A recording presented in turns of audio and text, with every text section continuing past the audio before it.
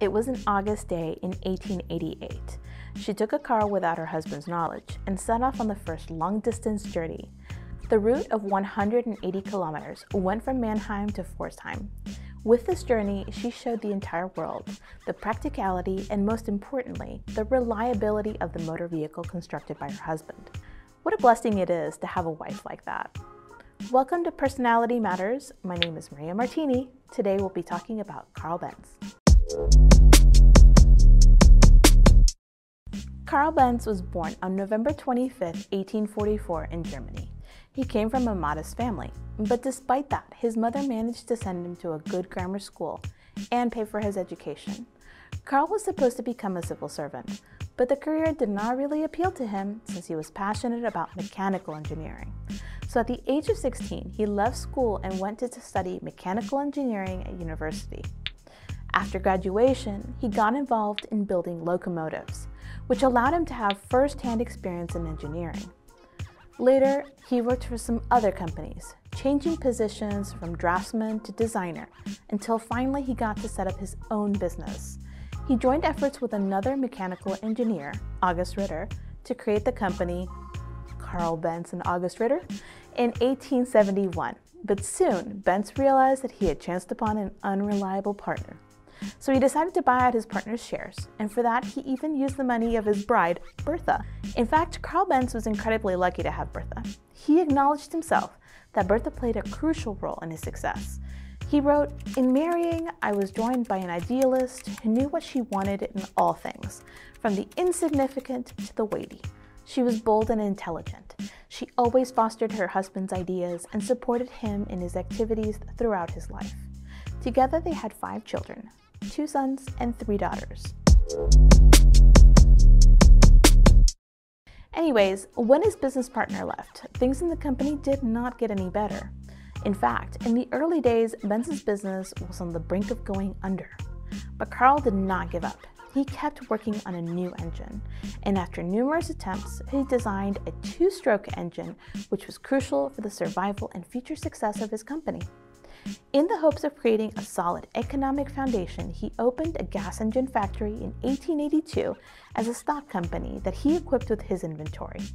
But he had little control over the company, and his role in the key decision making was very limited.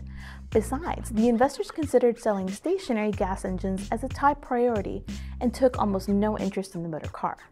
Eventually, these circumstances made Benz leave the company. He was short of means and barely made his living, but he later found new investors who dealt in many businesses, like, for instance, bicycles. Anyways, with the help of these new investors, Benz managed to put the two stroke engine on the market.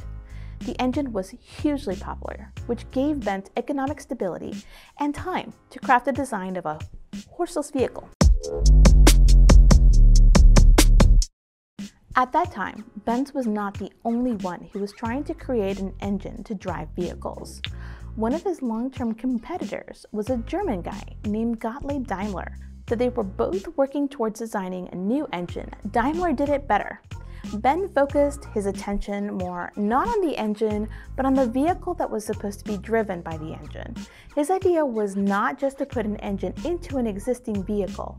He thought of a motor as an integrated part of a car. For that, he created a three-wheel vehicle, as all other vehicles did not meet up to his requirements. So after months of hard work, he finished his motor car and got to testing. January 29, 1886 is now considered a historical turning point. On this day, he filed a patent for his vehicle with gas engine drive with the patent specification DRP 37435. Why did I say that? Well, not just because I like to say historical moment, but because this is regarded as the first patented motor car. Benz had spent years developing his vision of a motor car, and he had finally succeeded. Over the next years, Benz introduced several improved versions of his motor car. One of them, by the way, was tested by his wife Bertha during the legendary 180 kilometer journey we talked about at the beginning. A few weeks after the journey, Benz showed the car to the public audience at the Munich Engineering Exhibition. The car, known as Model 3, got the Grand Gold Medal and became the world's first series-produced automobile. By the end of the 19th century, Benz's company was a stock corporation and the world's leading manufacturer of motor vehicles. The company built 572 vehicles in the 1899 financial year and then went on to produce 603 the year after. But in 1903, Benz stepped down as chief design manager and remained a member of the board until 1926 when his company merged with another car manufacturer, Daimler DMG. Carl Benz lived a long life. He witnessed the success and the triumph of his ideas about motor transportation. So why is it called Mercedes-Benz? You remember we mentioned the name Daimler? Well, as we said, Daimler was a major competitor to Benz. Together with his business partner William Maybach, Daimler created a company called Daimler Motoren DMG. The company collaborated with a businessman and motor car enthusiast named Emil Jellinek. He signed a contract with DMG on the distribution of Daimler cars and engines. So at one point, it was decided to build a new engine for a race car, and Jellinek, who was largely involved in the project, offered to name the car after his daughter Mercedes. That's how in 1900 the Mercedes 35 horsepower sports car was born, and many years later, by a twist of fate, DMG and Benz became one. Burdened with financial problems, the two companies merged and created a brand known under the name Mercedes Benz the company adopted a three pointed star logo that symbolizes the company's drive to global motor domination by land, sea, and air. It's arguably one of the most recognizable logos in the world. Thank you for watching Personality Matters. We talk about people who made the world. Until next time, I'm Maria Martini.